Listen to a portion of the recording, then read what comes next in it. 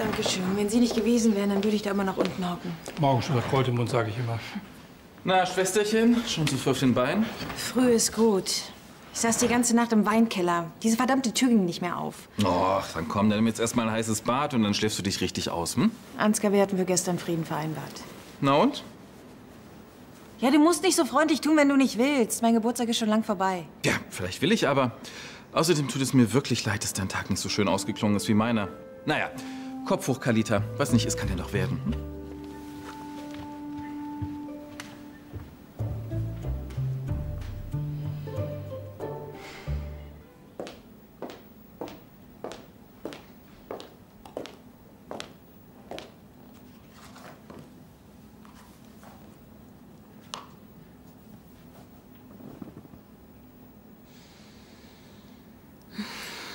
Hm? Wo warst du die ganze Zeit?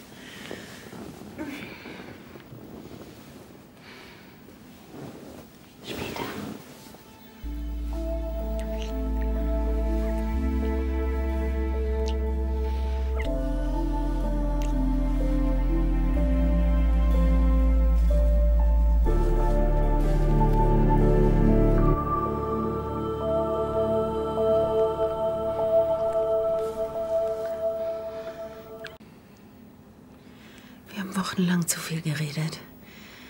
Jetzt haben wir mindestens noch eine Nacht zu lange gewartet. Findest du nicht, das reicht?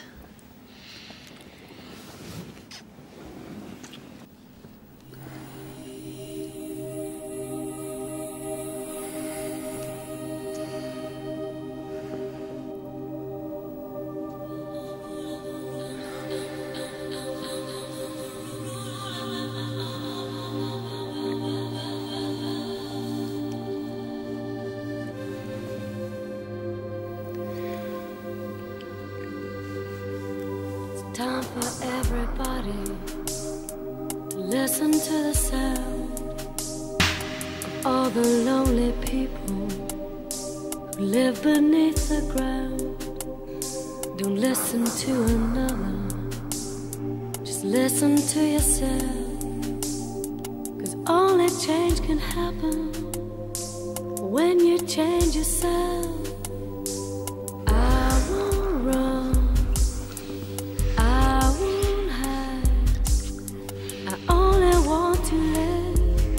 Ja, da haben wir uns ganz schön viel Zeit gelassen, was? An mir hat's nicht gelegen. Okay, zuerst wollte ich es nicht wahrhaben. Dann habe ich mich dagegen gewehrt. Aber du hast es mir auch nicht besonders leicht gemacht. Ach, dann ging's der Gräfin nicht schnell genug, hm? Es gehört wohl bei uns dazu, dass wir für alles etwas länger brauchen. Und dann musstest du auch noch die ganze Nacht im Weinkeller verbringen. Was sollte ich denn machen, als ich diese verdammte Türklinke in der Hand hatte? Das war bestimmt ganz schön kalt, hm? Ich habe mir einfach vorgestellt, was mich erwartet, wenn ich wieder rauskomme.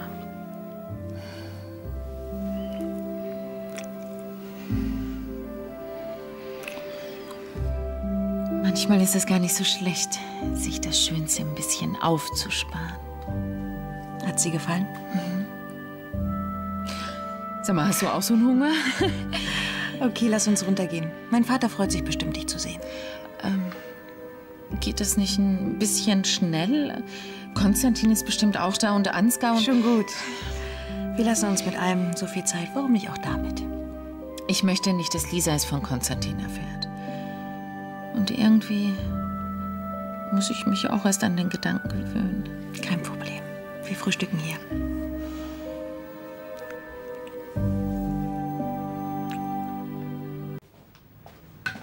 Hast du Susanne gesehen? Ja, die ist da unterm Sofa, hat sich vor dir versteckt. Ja, keine Ahnung, vielleicht fährt sie Taxi oder so. Nein, sie hat heute frei. Wir waren vor einer halben Stunde verabredet, weil sie mit mir in die Stadt wollte. Auf dich. Auf uns. Mann, die Angebote vom Fotoladen gelten nur heute. Und sie hat es mir versprochen.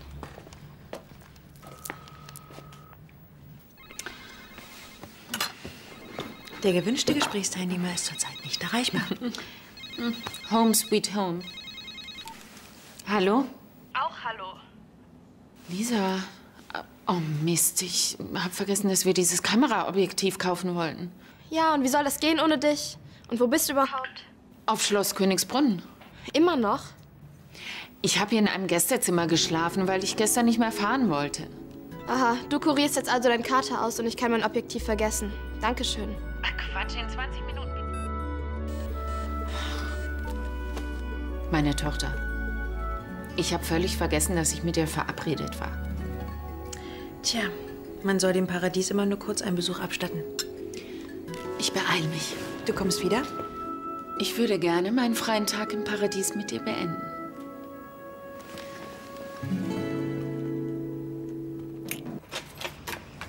Hallo. Ist Lisa schon weg? Nee, die lädt gerade ihren Revolver. 20 Minuten, ich lach mich kaputt. Entschuldige, vor mir war die Müllabfuhr. Bla Ich bla bla, nicht können wir los? Äh, ich muss nach dem Einkauf gleich eine Schicht fahren. Weißt du was, wenn du keine Lust Doch, hast? doch, doch, doch, ich bin gleich fertig. Super, dann bestelle ich Konstantin am besten gleich ab. Wieso? Weil wir zum Billard verabredet sind und ich schon viel zu spät dran bin. Wir schaffen das. Du weißt doch genau, welches Objektiv du willst. Ja, den 70 bis 210 mm Zoom. Unglaublich lichtstark. Sag mal, warum musst du eigentlich plötzlich arbeiten?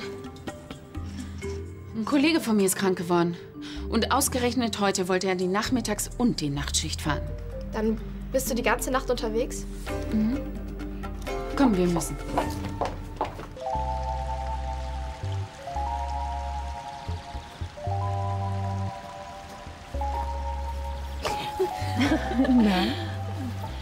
Ich hätte Lust auf eine etwas andere Erfrischung. Du auch?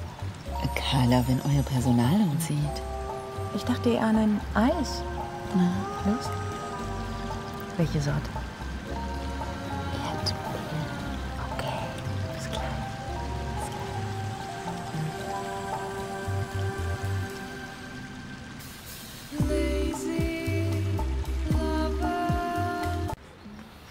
Ja, euer Personal scheint Gedanken lesen zu können. Das ging. Lisa. Echt anstrengend, so eine Schicht, was? Lisa. Ich, ich war ja schon unterwegs und plötzlich klang das Taxi wie, wie, wie ein Traktor. Der Auspuff. Und wieso bist du dann hier? Ja, der Wagen musste sofort in die Werkstatt und deshalb hat mir mein Chef freigegeben. Das ist doch mal ein cooler Chef. Und dann bist du zufällig Carla über den Weg gelaufen. Genau. Sie hatte anscheinend die gleiche Idee wie Konstantin. Offene Extra-Einladung, jetzt komm! Na warte, ich komme!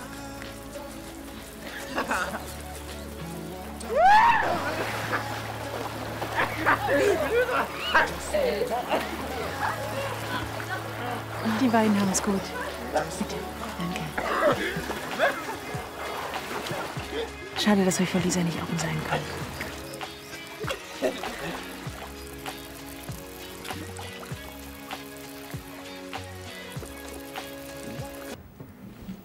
Also die beiden Aushilfsköchinnen haben wirklich ganze Arbeit geleistet. Hm. Ach, sag mal, weißt du eigentlich, was die ältere der beiden von dir wollte? Ja, wie gesagt, sie muss mich da mit irgendjemandem verwechselt haben. Hat dir noch niemand ein Stück Kuchen angeboten? Danke, ich habe keinen Hunger. Sag mal, Konstantin, bist du sicher, dass sich dein Gast bei uns wohlfühlt? Ja, ziemlich, oder? Ich muss dir auch was sagen. Lass mich raten. Ich nehme an, wir sehen dich in Zukunft öfter bei uns. Da hast du dir eine Das doch die wirklich Gelegenheit. sehr nette junge Dame ausgesucht, mein Lieber. Das weiß ich. Hallo alle zusammen. Hallo. Hallo. Ich komme ungelegen. Ist schon so spät? Und wenn wir unser Pensum heute schaffen wollen? Ihr habt's gehört. Ich habe leider noch einen Termin. Bis später. Tschüss. Tschüss.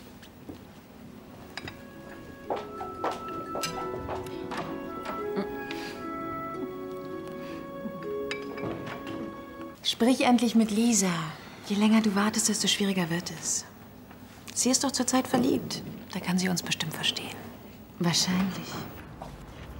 Lisa, komm, spiel mit. Das nächste Spiel. Dies hat deine Mutter schon fast gewonnen. Ja, aber noch nicht ganz. Ich guck lieber zu. Ist auch besser so. So verknallt wie du bist, hast du eh kein Glück hier beim Spiel. Stimmt wahrscheinlich. Hast du schon erzählt? Konstantin hat seinem Vater heute gesagt, dass wir zusammen sind. So richtig offiziell? Aber verlobt seid ihr noch nicht, oder? Blöd, Mann.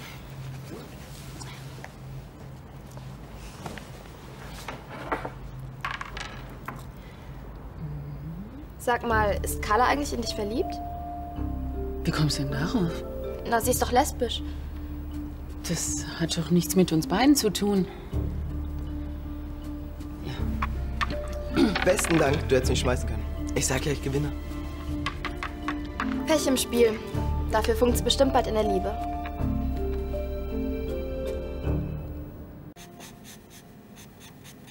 Kann ich mal sehen? Halt still, ich bin noch nicht fertig.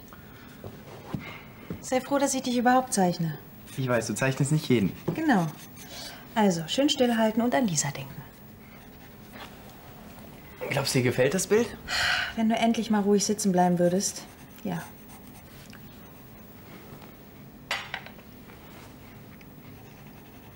Wie gefällt dir, Lisa? Ja, wenn sie zehn Jahre älter wäre. Ja. Es tut mir leid, aber sie steht eindeutig auf Jungs. Darf man dir denn auch gratulieren? Wozu? Zu Susanne. Da läuft doch was zwischen euch, oder? Mann, du schuldest mir noch eine Antwort. Außerdem, mir kannst du es doch erzählen. Läuft da was zwischen Susanne und dir oder nicht? Kann es sein, dass du für dein Alter ziemlich neugierig bist? Ich nehme nur am Leben unserer Familie teil. Ja, ein bisschen sehr für meinen Geschmack. Du musst nicht mal was sagen, sondern nur nicken. Ja, das hättest du wohl gern, was?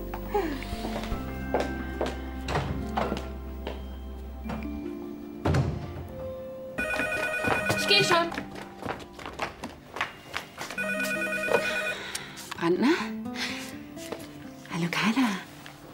Wie, mein Handy ist aus? Dann hätte ich ja fast einen Anruf verpasst. Ich vermisse dich auch schon wieder. ja, das klingt gut. Ich freue mich. Bis später. Worauf freust du dich? Auf den Tag, an dem meine Tochter nicht mal meine Telefonate belauscht. Hast du einen Lover? Nein. Gib's zu, wie heißt er? Die Pizzen müssen hier in die Tiefkühltruhe. Hat Susanne sich wieder verliebt? Lisa, ich weiß nicht, was das... Und wenn, geht es dich nichts an, okay? Das sehe ich anders. Ach ja? Wie war das nochmal, als du mit Konstantin zusammengekommen bist? Ihr wart ja sowas von ehrlich, besonders zu mir. Ich glaube, mein Wagen ist fertig. Ich hole den dann mal aus der Werkstatt. Die stellt sich vielleicht an. Schlimmer als ein Teenie. Arne, sind eigentlich alle Frauen so? Wenn sie etwas wissen wollen, nerven sie einen so lange, bis sie es herausgefunden haben. Und dann nennen Sie es weibliche Intuition. Und meine männliche Intuition sagt mir, dass Susanne wegen Carla so gut drauf ist. Hast du keine Angst, dass das Personal uns stört? Hm, die haben schon Feierabend. Wenn ich daran denke, dass ich morgen wieder in meinem einsamen Taxi sitze. Und ich zwei Meetings in der Holding habe. Aber da fahren wir noch eine ganze Nacht für uns alleine. Wenn deine Tochter nicht wieder im Fünf-Minuten-Takt anruft und wissen will, bei wem du schläfst. Du solltest es ihr endlich sagen. Ja, aber in Ruhe. Unter vier Augen. Wunder dich nicht, wenn Konstantin dir zuvorkommt. Du hast es ihm gesagt? Hm. Das war gar nicht nötig. Er ist von selbst drauf gekommen. Konstantin, Hey. können wir dich kurz stören? Susanne würde gerne was mit dir besprechen. Tag for One, was gibt's denn?